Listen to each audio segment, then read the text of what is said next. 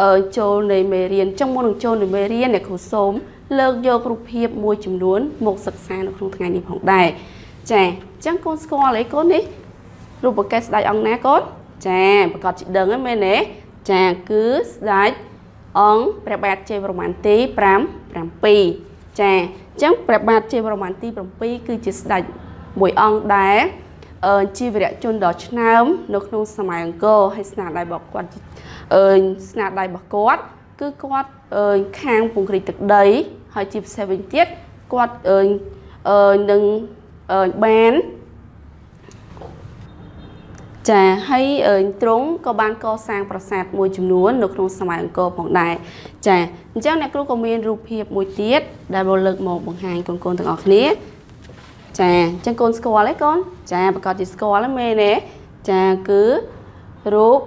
អ្នកតាឃ្លាំងឃ្លាំងមឿងចាចឹងអ្នកតាឃ្លាំងមឿងគឺជាវីរៈជនដ៏អង្អាចក្លាហានម្នាក់នៅក្នុងសម័យកាលសម័យកាលមុនដល់ផងដែរអញ្ចឹងមិនត្រឹមតែគាត់ទេ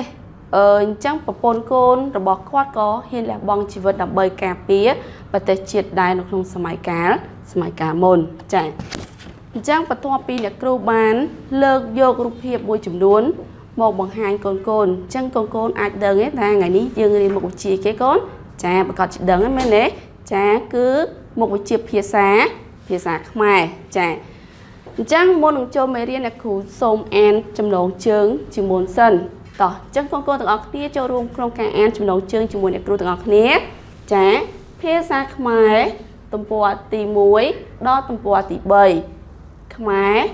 page 1 2 3មេរៀនទី1វរៈជនឆ្នើម lesson 1 the super a lit បំណិនការប្រៀបធៀបតួអង្គ skill comparing the performer ចា៎អញ្ចឹងមុននឹងចូលដល់ខ្លឹមសារមេរៀនអ្នកគ្រូសូមពន្យល់នៃចំណងជើងនៃមេរៀនជាមុនសិនចា អញ្ចឹងវិរៈជនឆ្នាំកូនដឹងថាមានន័យថាយ៉ាងម៉េចទេកូនចាវិរៈជនមានន័យថាគឺជាជនដែលអង្អាចក្លាហានហ៊ានលះបង់ជីវិតដើម្បីការពារប្រទេសជាតិហើយក៏ប្រជាជនខ្លួនឯងផងដែរចាអញ្ចឹងអ្នកគ្រូក៏មានរូបភាពមួយចំនួនលើកយកមកថ្ងៃនេះប៉ុន្តែគាត់គឺជាវីរៈជនដែលអង្គអាចក្លាហានតាក់ទងទៅនឹងអឺអសរសាស្ត្រខ្មែរផងដែរគាត់គឺជាស្ត្រីមួយរូបដែលមានឈ្មោះថាព្រះ នាងអន្តរទេទេវីចាអញ្ចឹងព្រះនាងអន្តរទេវីគឺជាក្សត្រមួយអង្គដែលគាត់ពូកែខាងអសរសាស្ត្រខ្មែរគឺតាក់ទងទៅនឹងអសរអឺសិលាចារឹកផ្សេងផ្សេងហើយជាពិសេសនៅក្នុងសម័យកាលនោះផងដែរគាត់ក៏បានបង្រៀនប្រជាពលរដ្ឋឲ្យជៀសផុតពីភាពល្ងងខ្លៅផងដែរចា៎អញ្ចឹងបន្ទាប់ពីអឺអ្នកគ្រូក៏មានរូបភាពមួយទៀតគឺស្គាល់ទេកូន ចាអ្នកគ្រូសង្ឃឹមថាកូនកូននឹងស្គាល់គាត់គ្រប់គ្នាមែនទេចាគឺសម្ដេចព្រះសង្ឃរាជជួនជួនណាតចាចឹងសម្ដេចសង្ឃរាជជួនណាតក៏មានស្នាដៃជាច្រើនដែរបានដែលបានបន្សល់ទុកឲ្យកូនកូនចៅចំនួនក្រោយនេះអឺបានស្គាល់ពីស្នាដៃរបស់គាត់ដូចជាមានសភៅវចនានុក្រមខ្មែរសម្ដេចសង្ឃរាជជណាតហើយមួយវិញទៀតបទភ្លេងនគររាជដែលកូនកូនទាំងអស់គ្នា បានសូត្រជារៀងរាល់ថ្ងៃពេលដែលកូនកូនមកសាលារៀនណោះ ចាំអីកូនចាហើយមិនត្រឹមតែប៉ុណ្ណឹងគាត់ក៏បានចូលរួមក្នុងការកសាងមន្ទីរមន្ទីរពេទ្យផ្លូវថ្នល់សាលារៀនផ្សេងផ្សេងហាក់អើយផងដែរចាទាំងអស់គ្នាបើកសភៅនៅទំព័រទី2និងទី3ទាំងអស់គ្នាចា៎ចា៎អញ្ចឹងកូនកូនទាំងអស់គ្នាចូលរួមការអានទាំងអស់គ្នាជាមួយអ្នកគ្រូចា៎ការប្រៀបធៀបតួតួអង្គ រឿងនីមួយៗតែមានតួអង្គតិចឬក៏ច្រើនតួអង្គនីមួយៗមានលក្ខណៈដោយឡែកពីគ្នា ចូលអានរឿងខាងក្រោមរួចធ្វើការប្រៀបធៀបតួអង្គទាំងទាំងនោះរឿងកល្យានមិត្តចាអញ្ចឹងកូនកល្យានមិត្តកូនដឹងថាកល្យានមិត្តមានន័យថាម៉េចទេកូនចាប្រកាសជាដឹងហ្នឹងមែនទេអឺអញ្ចឹងកល្យានមិត្តមានន័យថាមិត្តដែលចេះជួយយកអាសាគ្នាចេះអធិស្ឋានគ្នាទៅវិញទៅមកស្រឡាញ់គ្នាណាអឺតោះអញ្ចឹងកុំឲ្យខកខានពេក អានអត្ថបទរឿងទាំងអស់គ្នាតែម្ដងទៅតោះសខុមនិងសាវុនជាកល្យានមិត្តរៀនថ្នាក់ជាមួយគ្នាសខុមជាកូនអ្នកមាន គេមរតកដីស្រែច្រើនឯសាវុនជាកូនកសិករមានវងត្រកូលល្អថ្ងៃមួយគ្រួសារសខុមបានលក់ដីស្រែមួយចំនួន បានប្រាក់យ៉ាងច្រើនខ្លាយជាអ្នកអ្នកមាន តាំងពីពេលនោះមកសខុមមិនសូវនិយាយស្ដី រອບរកសាវុនដូចមុនឡើយ តាំងពីពេលនោះមកសុខុមមិនសូវនិយាយស្ដីរាប់រកសាវ័នដូចមុនឡើយសាវ័នឃើញបែបនេះក៏មិនប្រកាន់ខឹងនឹងសុខុមដែរសាវ័ននៅតែខិតខំប្រឹងប្រែងរៀនសូត្រជាធម្មតា ចំណែកសុខុមវិញតែងដើរលេងសេចាយសបាយហឺហាកិច្ចវេសាលាជាញឹកជាញឹកញាប់ក្នុងគ្រួសារ គ្រួសារសុខុមលក់ដីស្រែជាបន្តបន្ទាប់រហូតដល់អស់គេមរតកពីដូនតា មិនយូរប៉ុន្មានប្រាក់ក៏អស់ដីក៏អស់ឥតមានអ្វីទីពឹងទៀតឡើយ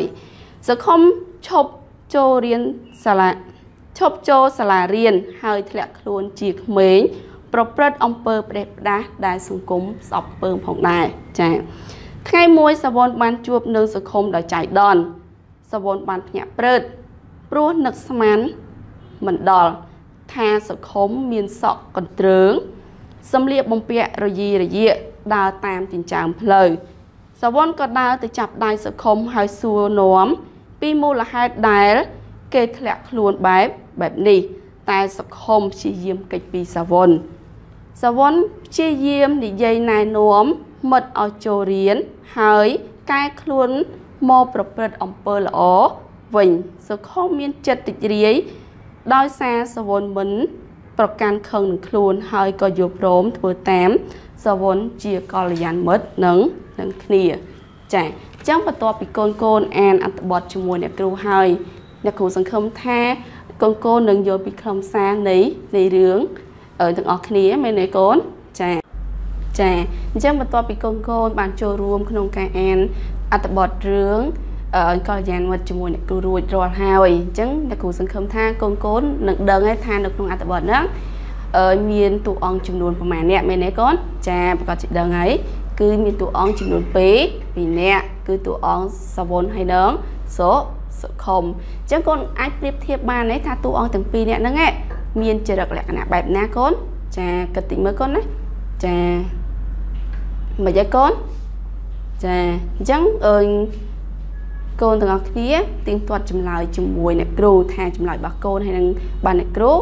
អឺត្រឹមត្រូវដូចគ្នាដែរទេចា៎តោះ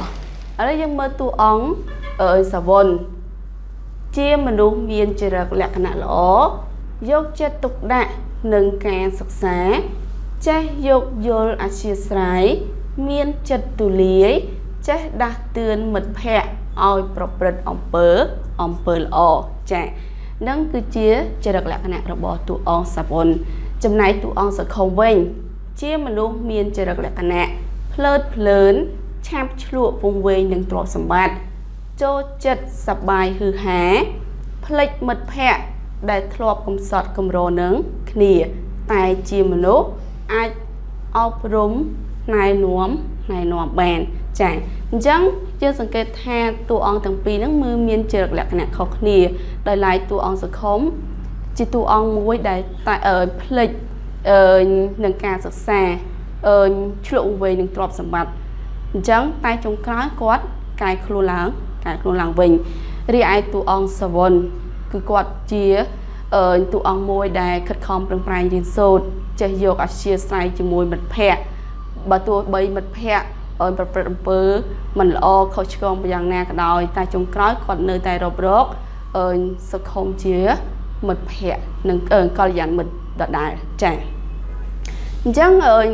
បន្ទាប់ពីកូនកូនធ្វើការប្រៀបធៀបតួអង្គទាំងពីរជាមួយអ្នកគ្រូរួចរករួចរាល់ហើយអឺកូនអាចដឹងទេថាអឺអឺអាចដឹងទេថាអឺដូចម្ដេចដែលហៅថាដូចម្ដេចដែលហៅថាការប្រៀបធៀបតួអង្គ អ្នកគ្រូប្រកាសថាកូនកូន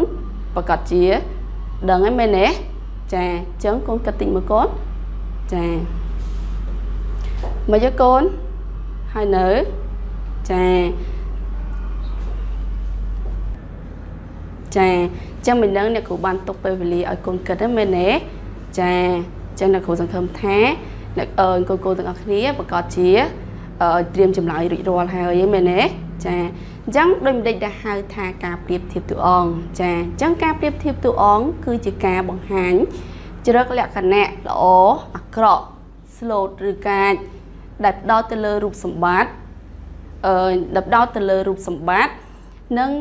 ចរិតលក្ខណៈរបស់តួតួអង្គអញ្ចឹងកូនកូនទាំងអស់គ្នាមកមើលនិយមន័យជាមួយអ្នកគ្រូទាំងអស់គ្នាចាការប្រៀបធៀបតួអង្គគឺជាការបង្ហាញលក្ខណៈ ល្អអាក្រក់កាច slot ដោយផ្ដោតទៅលើរូបសម្បត្តិចរិតលក្ខណៈនិងសកម្មភាពរបស់តួតួអង្គចា៎អ្នកគ្រូសង្ឃឹមថាចម្លើយដែលកូនគិតនៅផ្ទះហ្នឹងគឺពិតជាត្រឹមត្រូវដូចជាជាអ្នកគ្រូដែរចា៎ហើយបន្ទាប់ពីកូនកូនចូលរួមក្នុងការធៀបចម្លើយឬក៏ប្រៀបធៀបតួអង្គជាមួយអ្នកគ្រូរួចហើយអ្នកគ្រូក៏មានសំណួរចំនួន3 អឺ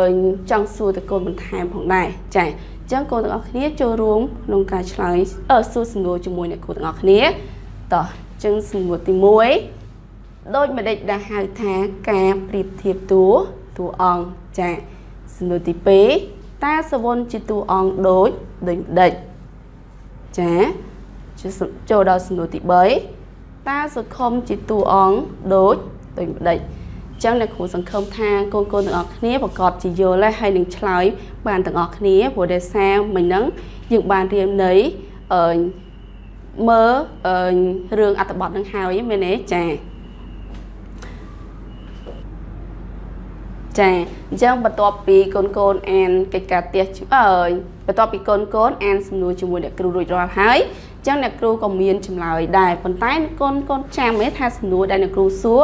កូនកូន សួរថាមិនខ្លះកូនសំណួរទី1ចាអញ្ចឹងដូចម្ដេចដែលហៅថាការប្រៀបធៀបតួអង្គកូនអាចឆ្លើយបានទេចាឥឡូវមកមើលចម្លើយជាមួយអ្នកគ្រូទាំងអស់គ្នាដែលហៅថាការប្រៀបធៀបតួអង្គគឺជាការបង្ហាញលក្ខណៈល្អអាក្រក់ការ slot ដោយផ្ដោតទៅលើរូបសម្បត្តិចរិតលក្ខណៈសកម្មភាពរបស់តួតួអង្គចាអញ្ចឹងអ្នកគ្រូសង្ឃឹមថាចម្លើយទី1របស់កូនដូចនឹងចម្លើយបានអ្នកអ្នកគ្រូដែរចាអញ្ចឹងសំណួរទី2 កូននៅចាំអីសំណួរគេសួរថាម៉េចកូនតអញ្ចឹងគេសួរថាតើតួអង្គសវុនជាតួអង្គយ៉ាងដូចម្ដេចចាឥឡូវយើងមើលចម្លើយរបស់អ្នកគ្រូទាំងអស់គ្នាសវុនគឺជាតួអង្គដែលមានចរិតលក្ខណៈល្អយកចិត្តទុកដាក់នឹងការសិក្សាចេះយោគយល់អធ្យាស្រ័យមានចិត្តទូលាយចេះដាស់តឿនមិត្តភ័ក្តិ ឲ្យប្រព្រឹត្តអំពើអំពើល្អចាចម្លើយទី2អញ្ចឹងកូនកូនទាំងអស់គ្នាប្រកាសជាចម្លើយកូនប្រកាសជាត្រឹមត្រូវដូចចម្លើយអ្នកគ្រូដែរមែនទេចាអញ្ចឹងនៅសល់សំណួរចុងក្រោយគឺសំណួរទី3តែចាអញ្ចឹងសំណួរទី3គឺសួរថាម៉េចកូនតែសំណួរទី3គឺតើសង្ឃុំជាតួអង្គដូចម្ដេចចាអញ្ចឹងយើងមើលចម្លើយរបស់អ្នកគ្រូទាំងអស់គ្នា សង្ឃុំជាតួអង្គដែលមានចរិតភ្លើតភ្លើនឆាប់ឆ្លក់វងវែងនឹងទ្រព្យសម្បត្តិចូលចិត្តសបាយហឺហាផ្លេចមិត្តភ័ក្តិដែលឆាប់ដែលធ្លាប់កំសត់កំរនឹងគ្នា តែជាមនុស្សអាចអប់រំណែនាំណែនាំបានចា៎ចឹងអ្នកគ្រូសង្ឃឹមថាចម្លើយរបស់កូនកូនទាំងអស់គ្នាដូចនឹងចម្លើយរបស់អ្នកគ្រូដែរចា៎